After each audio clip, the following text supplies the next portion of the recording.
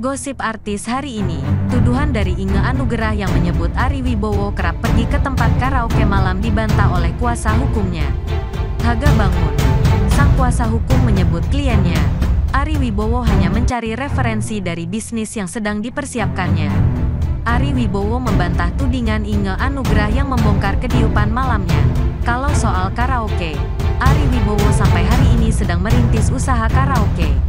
Artinya, dalam perjalanan membangun usaha tersebut, tentu dia harus datang ke tempat karaoke tertentu untuk berdiskusi dengan calon mitra kerjanya.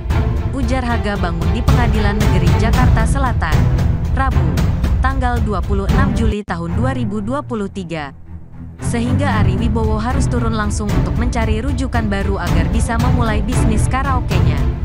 Dipastikan jika tuduhan tersebut tidaklah benar disangkakan terhadap Ari Wibowo. Di tengah perencanaan itu, kan dia memang harus mencoba mengetahui atau hadir di tempat-tempat karaoke itu. Jadi tidak bisa ditafsirkan ke sana karena memang suka. Beber kuasa hukum Ari Wibowo lainnya, Ricky Saragi. Begitupun terkait Ari Wibowo kerap mengonsumsi minuman beralkohol seusai mengunjungi karaoke malam tersebut.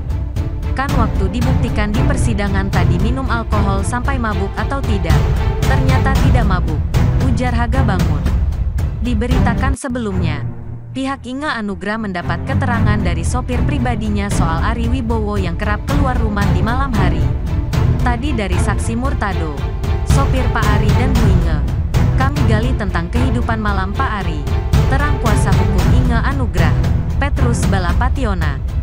Dari keterangan saksi tersebut didapati bahwa Ari Wibowo memiliki kebiasaan mengunjungi tempat karaoke malam setiap bulannya.